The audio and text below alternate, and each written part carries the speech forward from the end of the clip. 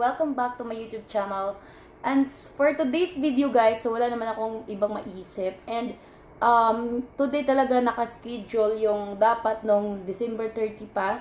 So, sobrang wala kaming wifi noon. And ngayon, nagawa ko na siya nasa mga 60, 665 this one, na mga ano, bilog-bilog eh.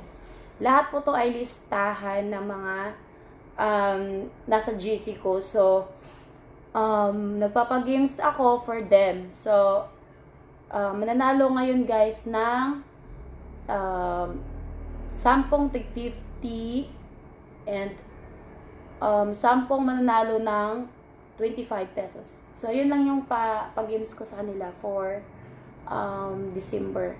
Ayan. So, okay guys, start na tayo. Hindi natin to patagalin para matapos na tayo. And meron tayong part 1, part 2, and part 3. So, sa video ito, meron tayong tag 3 to 4 si- minutes. So, ayan, para hindi masyadong mataas. Alright, so, una nating bunutin is ah yung 10 mananalo ng 25 pesos. So, ay kung makita nyo guys, walang daya to kasi lahat dito guys is nakabilog yan at walang nakikita. Ayan. Hindi kasi kayang mag-live guys eh. Hindi talaga kaya mag-live. Ayan, wala po yan. As in, sarado-sarado po yan. Ayan. So, so first winner of first winner of ano, um 25 pesos. So kahit titignan ko yan guys, hindi ko alam kung kanino yan kasi nakakabalot po yan lahat. Ayan. So, titignan natin kung sino tong first winner of 25 pesos.